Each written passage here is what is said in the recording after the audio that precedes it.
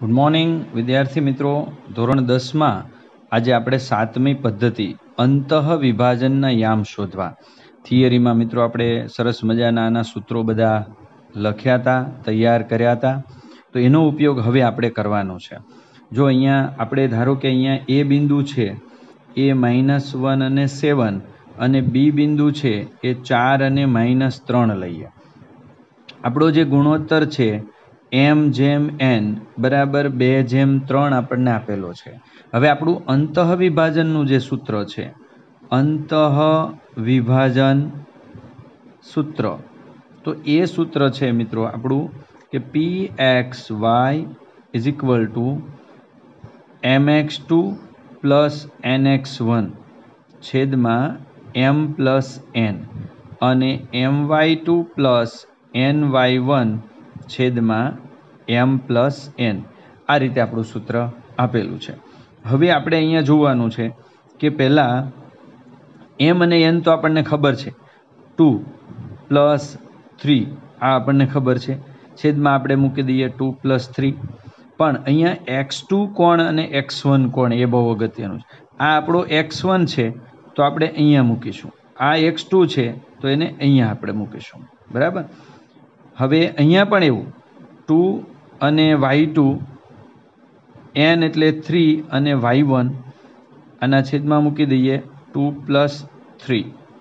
જો એકદમ ધ્યાનથી, અહીં આપણો પહેલો વાય ટુ છે.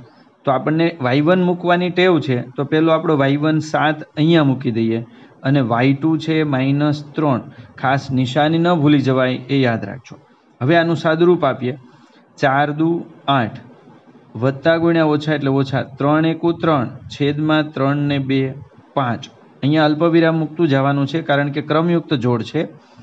ત્રણ દુ એટલે કે માઇનસ છ પ્લસ સાત તેરી એકવીસ અને છેદમાં મૂકીશું આપણે પાંચ.